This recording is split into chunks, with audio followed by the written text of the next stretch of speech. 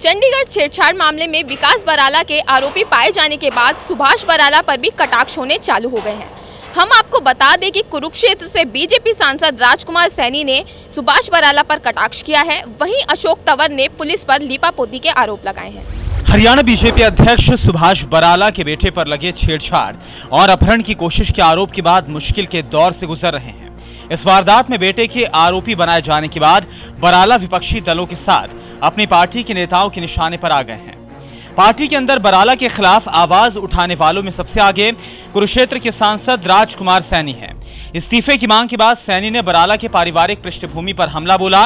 उन्होंने कहा कि बेटे की हरकत की पृष्ठभूमि पारिवारिक है। उन्होंने बराला परिवार के पिछले कारनामों का हवाला देते हुए कहा कि जैसी बेल होगी उस पर वैसे ही फल आएँगे देखिए सुनने में तो यहाँ तक आया कि इनका जो भाई था, जिसकी आजकल डेथ हो चुकी है, उसका भी मुंडन कभी इसी छेड़छाड़ में और मुँह काला तक हुआ था। अब वो तो मैंने कहा था कि बेल जैसी रहेगी, आगे उसके फल वैसे ही आएँगे।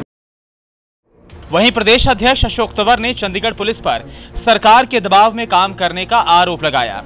उन्होंने कहा कि पुलिस लीपा पोती में लगी है। कांग्रेस वर्णिका कुंटू को इंसाफ दिलाने और बराला के इस्तीफा देने तक आंदोलन को करती रहेगी। विपक्ष में कांग्रेस उनके साथ है और हमने धरने प्रदर्शन से लेकर के मशाल जुलूस और उनके सपोर्ट में जो भी हम कर सकते थे, वो हमने प्रयास किया और ये लड़ाई जारी रहेगी। जब तक जब तक वर्णिका को न्याय नहीं मिल जाता और जो बराला साहब हैं, जिनके पोस्टरों से अभी फ़ोटो गायब खुद बीजेपी ने कर दिए।